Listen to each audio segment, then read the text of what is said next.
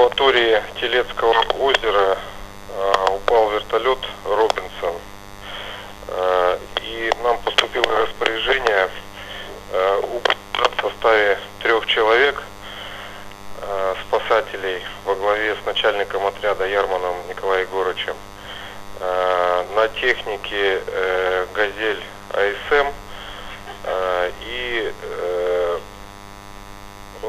значит, судно на воздушной подушке «Арго». В 3.30 13.02.17 группа в этом составе туда убыла.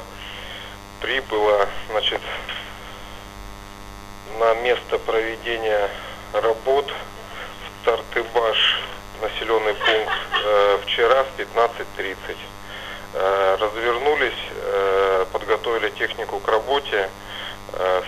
и с сегодняшнего дня с утра они уже начали поисково-спасательные работы.